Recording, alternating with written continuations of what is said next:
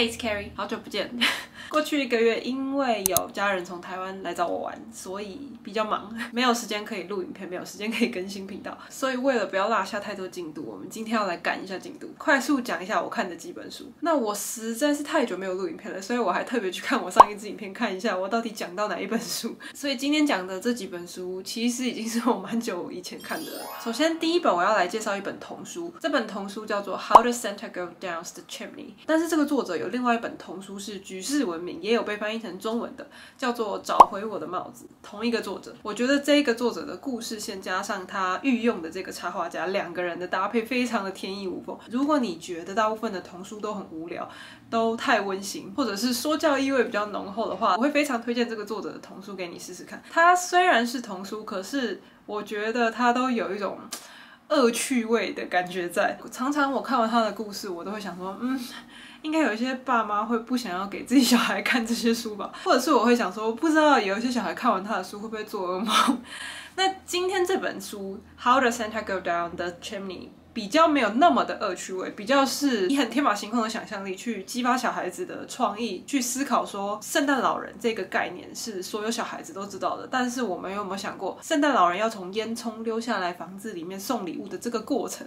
他是怎么下来的？他是一头栽进来，还是一脚踏进来？如果他溜下烟囱的时候卡住了怎么办？他进了房子以后，实质上会做哪些事情？有很多这个作者提出的问题，配上这个插画家的插画，我自己想象觉得，觉得很多小朋友读起来一定是会笑得非常开心。是一本零压力、非常有创意，让我看了非常开心的童书。五颗星。再来第二本书，我已经做了一个单独影片，是在讲这本小说跟他改编电影的比较，就是《Poor Things》。这本书目前还没有被翻译成中文，但是我总觉得依它近期火红的程度，应该蛮有可能会被翻译成中文的。希望有那么一天，因为我真的很想跟很多人讨论这本书。Poor Things 就是最近非常火红，阿玛斯东最新得到奥斯卡女主角的这部电影的。原著小说主要故事剧情在讲一个年轻女子，她想要自杀，在垂死边缘的时候被一个疯狂科学家救了一命。但是这个疯狂科学家救她一命的方法是把她腹中的胎儿的大脑移植到她的脑子里，所以这个年轻女子被救回来以后。她虽然是一个成熟女人的身体，但是她的脑子是一个婴儿的大脑。这个被救回来的女主角就是艾玛斯东所演的角色，叫做 Bella Baxter。她也因为这项婴儿大脑移植手术，当她复活以后。他的心智年龄基本上就是退化到了婴儿的时期，所以虽然她看起来像一个正常的女人，但是她的行为、她的讲话各方面都是像婴儿一样，对于世界的所有事情都非常的好奇，把这个救她一命的疯狂科学家当成爸爸一样对待。她也在这个疯狂科学家非常古怪的豪宅里面慢慢长大。这个科学家非常的呵护她，想要保护 Bella，不想要她太被外面的世界污染，所以 Bella 活的其实非常的封闭，大部分都是在这个豪宅里。面，结果有一天因缘机会，有一个律师来到了这个科学家的豪宅里，认识了贝拉。莫名其妙的说服贝拉跟他私奔去环游世界。那也因为这个剧情转折，贝拉开始认识这个豪宅以外的世界，开始与世界上各式各样的人互动，认识自己。这本书我就不要讲太多。如果你有兴趣的话，可以去看我做的单独影片，我会把链接留在下面。我自己个人是喜欢小说大于电影的。那在几个月前我录的那支影片，我说我给电影三颗星，给这个小说四颗星。过了几个月以后，我越想越觉得这本小说我真的非常喜欢，它已经。被我升级到了 满分五颗星。我觉得电影没有拍出来的那一部分是这一本小说之所以这么天才的原因，所以我自己觉得电影蛮可惜的。当然，我之前有看到报道说，Emma Stone 还有这个导演 Yorgos 整个电影剧组，他们对于这个电影并不想要冠上女权两个字。我可以理解为什么他们会这么做。如果我没有看过小说的话，我觉得电影的情节其实嗯女权味没有那么重。但是这本小说如果你有看过的话，就应该可以感受到这本小说的女权主义气息。非常的浓厚，我觉得它故事最后的这个转折，也就是电影没有拍出来的转折，让我非常喜欢，嘲讽意味满满，也推翻了很多小说前八十 percent 你以为你知道的故事，这个部分是我很喜欢的。如果你有兴趣想听转折是什么，以及小说跟电影的比较的话。欢迎去看我单独做的影片，五颗星。再来下一本是一本韩国小说，叫做《Love in the Big City》，有中文翻译叫做《在西烧酒我还有冰箱里的蓝莓与烟》。非常长的书名。这本小说基本上是以四个短篇故事组成，虽然它都是由同一个主角串起来的，这个主角是一个叫做印的韩国男生。第一个故事以印去参加他大学挚友在熙的婚礼为背景，开始让主角印去回顾说他的大学岁月，每天在家里跟学校之间打转，以及过得非常丰富的夜生活以及性生活，常常与各式各样的人发生一夜情。以这一个故事背景为第一个短篇故事，接着再去带出接下来的其他三个不同时空。应这个角色与不同人之间的关系。这一本书我最后给二点五颗星。我读起来的感觉，我觉得他的故事就像他的书名一样，很长，塞了很多东西，但是看完以后。你不知道重点在哪里。这本书其实很短，总共只有两百多页，但是我有点是硬撑着把它读完，读得非常慢。我自己觉得他的文笔有一点点重复。这个角色是一个男同志，所以这一个故事里面有很多是在那个年代的韩国，身为一个男同志，他的社交生活、日常生活会是怎么样？他怎么认识人？怎么约会？等等。这个角色的幽默也是属于那种比较骚、比较坏、比较。喜欢调侃自己那种类型的幽默，那他的很多幽默，我刚开始看的时候觉得蛮好笑的，但是整本书下来不断重复，看别人不爽，看不起自己，对其他人蛮坏的这种类型的幽默，看久了我觉得蛮累的。也比较不是属于我喜欢的类型的幽默，所以这个部分让我看了蛮吃力的。唯一一个短篇故事让我比较产生情绪连结的是在讲他跟他哀莫的妈妈之间的感情。除此之外，这本书其实没有在我心里留下太深刻的印象。话虽如此，我后来有去看很多其他人的书评，有不少人说这本书其实是一个对于韩国那个年代男同志的生活景象非常写实的描述。所以我不知道，我不是生活在韩国的人。或许如果你有类似的文化背景的话，读起来会比较有感觉。但对我来说，他的文笔不是太重我，我也没有到太喜欢他的故事。所以这本书我最后是给二点五颗星。再来又是一本童书，我几个月以前经历了一段一直想找童书来看的时期，所以。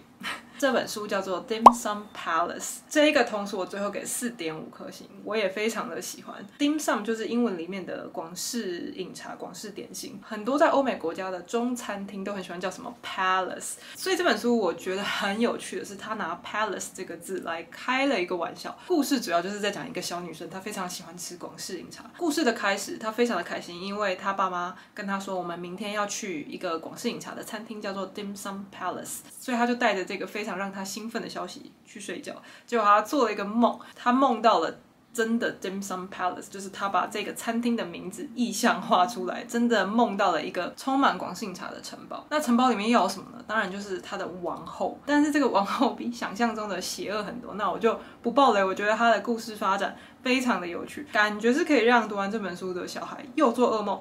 又可以哈哈大笑的一本书。除了它的故事以外，我也非常喜欢它的插画风格。如果你今天想看一个轻松一点的童书的话，这本书我会非常推荐，四点五颗星。好，接下来我看了一本。演员的自传就是《Beyond the Wand》魔杖之外这一本书，就是《哈利波特》里面饰演马粪这个演员的自传。前几个月我一直看到有很多人在看，所以如果你有在关心书方面的资讯的话，应该对这本书都不陌生。这本自传我最后给三颗星。对我来说，我在看一本自传的时候，不管这个人是影视明星。企业家，或者是普通的路人，不管是什么样的人，我在看自传的时候，我自己喜欢的，我自己的取向是我想要认识这个人，我想要知道他发生了什么事，他对于这些事情的感想是什么，他如果遇到了某一些挫败，他是怎么克服，或是怎么样克服不过来，这个面相是我喜欢的。那这本书我会说，有一点点是专门写给哈利波特的粉丝。我看完的感觉，我并没有到很了解马粪这个演员。他是怎么样的一个人？但是我了解到很多《哈利波特》这一系列的电影的幕后制作，比如说，我觉得很有趣的是，他分享了他。好像是第一集还是第二集，某一幕在霍格华兹餐厅的戏嘛，里面有一个坐在教授桌子里面白发苍苍的老人，那个人其实是他的外公。他说他的外公带他去片场，那因为他的外公长得就是你想象中哲学家会长的样子，大胡子白发苍苍，结果就被电影的导演相中，说，哎，你有没有兴趣跑个龙套？接下来这个场景你可以坐在那边。所以其实他的外公是有入境《哈利波特》的电影的，有很多这种小小的幕后花絮。我身为《哈利波特》的粉丝，读起来是觉得非非常有趣的。但是就像我说的，我会觉得正确的期待值是透过这个演员的视角去看很多哈利波特的幕后花絮，而不是认识这个演员。有一点像是这个演员他的日记，他去记录这么多年来哈利波特电影拍摄期间，他跟不同人每一个角色之间的关系是怎么样，发生过什么样的趣事。如果你打算尝试他的英文版的话，我也会非常推荐你可以配着他的有声书看，因为他的有声书是这个演员自己朗读的，所以配着书看会让你的阅读体验更上一层楼。虽然我说我觉得这本自传跟我自己喜欢的自传的类型。不太相符，但是我觉得蛮重要的，也是必须要说，这个演员他完全有权利去决定说他想要跟这个世界分享多少，所以我并不觉得说一个自传一定要过度诚实的分享很多私人生活，像 Jenna McCurdy 的自传一样才是好的自传。只是说我自己看完这本自传，并没有觉得有更深入的认识这个演员，也因为这样没有让我留下太深刻的印象。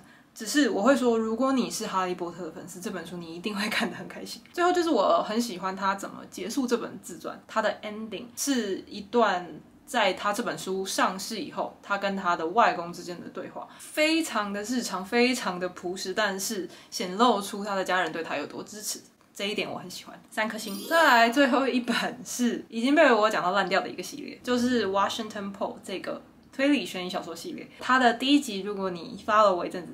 应该已经听到不想听了，就是欢迎观赏杀人预告。这一本书是我觉得我在我频道上推荐的最成功的一本书因为真的有很多人，不管是私讯还是在 Instagram 上面有标记我分享说，因为我去找了这本书来看，然后大部分的人。我感觉都至少还蛮喜欢这本书的，可能没有到我喜欢的程度，但是至少都觉得不难看。所以如果你喜欢推理悬疑小说的话，我觉得可以去试试看这本书。虽然它这个系列目前只有第一本被翻译成中文。那我最近看的是这个系列的第四集，叫做《Death Round》。这个系列前三集我都有给到四颗星以上，甚至五颗星的高分。这一本书是这个系列第一本。我给出三点七五颗星的分数，还是很好看。有感受到我对这个系列的爱意吗？那个七五非常的讲究，即便不是四颗星，也是非常高的三颗星。在不暴雷的状况下，我只能说，因为前一集发生的事情，在这一集主要三个角色里面，Flynn 这个女上司的角色不太有出现，但是在书的最后有暗示，感觉得出来，她下一集应该就会回归了。那主要角色还是 Paul 这个火爆的警探跟他的可爱不通世俗的分析师 Tilly 两个人的组合。这个故事的案件主要是 Paul 突然被叫到一个乡下的临时。招待所就是做黑的，结果在这个临时招待所的地方被人发现了有一具尸体，是很明显的死于头部的重击，有人从后面暴打这个人的头。那 PO 非常的困惑，因为这个看起来就是一个非常简单，可能做黑的生意上面出现了一些纠纷产生的案件。但是就在他调查这个案件的时候，他被一些非常有权力、非常隐秘的机构召唤，所以他发现这个事件没有那么单纯。这一本书为什么没有那么重我？我觉得他百分之七 十都非常的注重在政治斗争以及。不同军事情报机构之间的斗争，我自己对于那种军情、军事、国际政治方面的故事非常的没有兴趣，所以其实前百分之七十我有一点点硬着头皮读的，